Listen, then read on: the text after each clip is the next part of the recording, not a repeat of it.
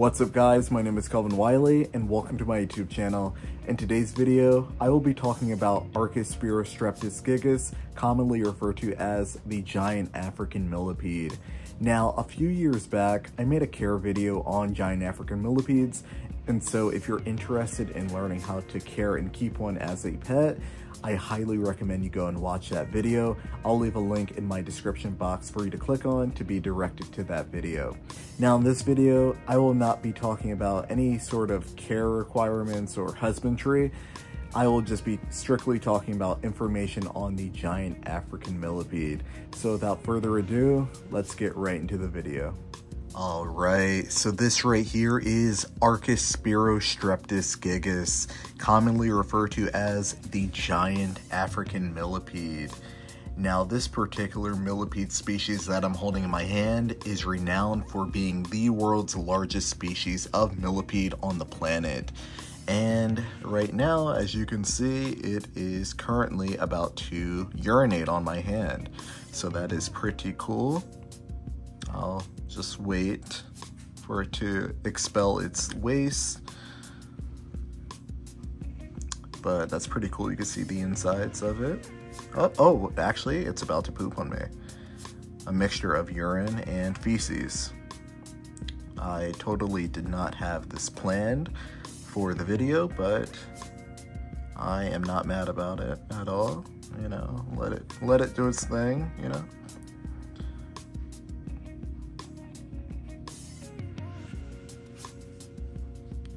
Coming out very slow.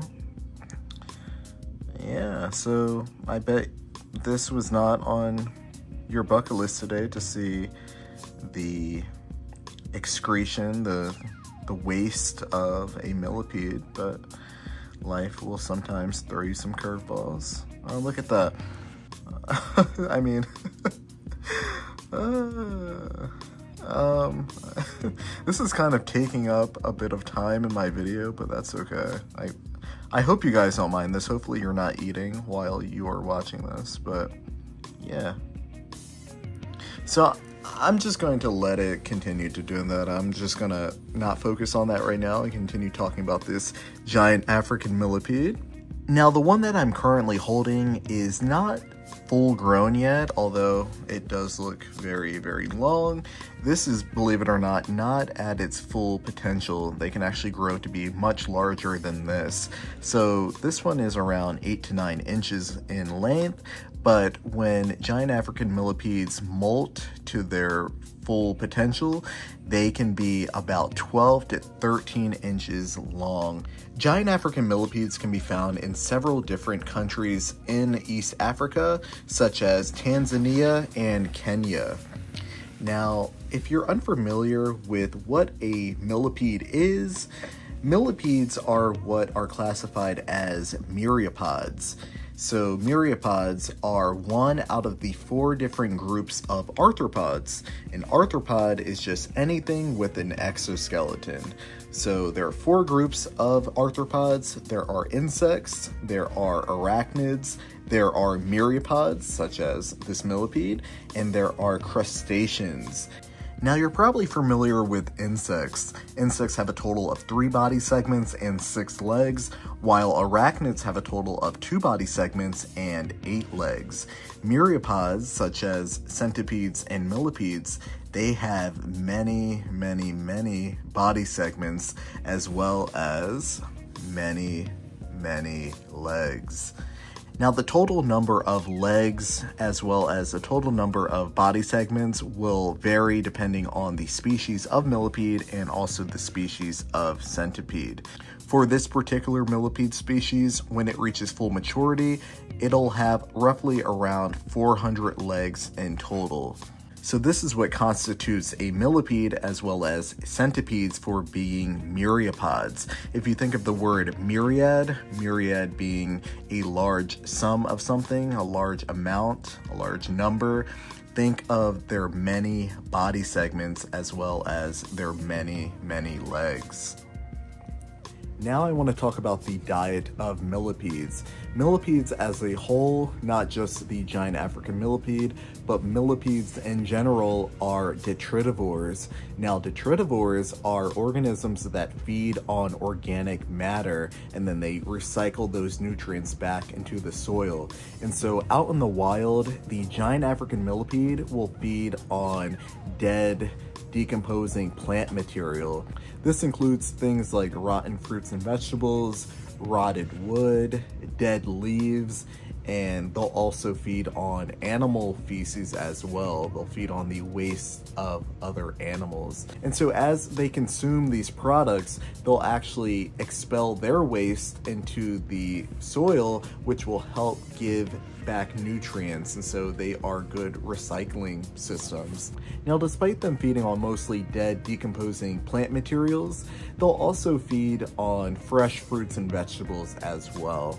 Now, as you've been watching, the giant African millipede is very slow at moving despite all of its many legs. You may be wondering how can they protect themselves from predators? And so the giant African millipede, when threatened and faced with a potential predator, will coil up into a ball, sort of like a ring. Now, this will protect their head and it'll also protect their underside as well. Now coiled up into a ring, the giant African millipede will release toxins from its body. It has specialized glands that run alongside both sides of its body, its left and its right side, whereas it'll secrete these uh, toxic fluids called benzoquinone. Now, the benzoquinone is a deterrent against predators. It's very unpleasant if you've ever had the opportunity to smell it over the course of however long I've been keeping giant African millipedes, they've released their toxic substance benzoquinone quite a few times for me. Uh, if it gets on your hands, it will discolor your skin. Just make sure you wash your hands if you ever get on your skin. I mean, I've never tasted it, but it is said to be very unpleasant, very unpalatable, and of course, it's meant to deter predators from wanting to consume the giant African millipede, if the smell doesn't drive them off before. But yeah, I'm, all they need to do is just get a good whiff of it, and if that doesn't work, they will most likely lick the giant African millipede and want to spit it out and go on with their merry way. And so that is how giant African millipedes are able to protect themselves from potential predators. So really quickly, I just wanted to share with you guys my brand new line of stickers that I have available for sale on my website. All of these are various animals that I drew on paper by hand, colored them in, and then converted them into high quality, long lasting, waterproof stickers. Just to give you a quick idea of what they look like up close, here's one of my favorite drawings that I drew of a European hornet. All of these drawings were achieved by using these markers to color them in. If you're interested in purchasing any of these stickers, you can head on over to my website, kelvinwiley.net, or you can hit the link in my description which will send you directly to my website for you to purchase them. Thank you so much to all of those in advance who end up getting one for supporting my small business. And now, back to the video. Giant African millipedes can make some really great pets, especially for those who have a pretty hectic schedule and ultimately a busy life. They don't require much maintenance and are extremely easy to care for. Like I stated earlier, if you want to learn how to care for a giant African millipede, you can go and watch my giant African millipede care video that I made a few years back. But these guys, although they are extremely slow in growing, they can live around 10 years in captivity. And so when kept properly, you can have a giant African millipede for many, many years to come. Now, one thing I forgot to mention earlier in the video is that each time the giant African millipede molts, which means it sheds its exoskeleton, they will grow additional legs and they will also grow additional body segments. So they keep adding on to both their legs and also the length, the body segments of their body. Now, when it comes to millipedes, millipedes have two pairs of legs per body segment. And so if you just look, you'll see two pairs of legs. So for example, one, two, and then obviously it's reciprocated on the other side. You have one, two. And so two pairs for four legs per one body segment. Now, oh, this is a great time to talk about this now that I'm focused in on the underside of it. So you see those little mites crawling on its body. Let me see if you can, yeah, you, see those? It's kind of hard to see, but you can kind of see them moving around. Let me see if I could find some more. Uh, let's see, there's, yep, there's two right there. So virtually found on all giant African millipedes are these little mites. Now, these mites do not pose a risk or any sort of harm to the giant African millipede. These mites actually feed on whatever they find on the millipede's body. So whether that's excess food or any sort of fungi growing on the giant African millipede's body, these mites will actually consume that.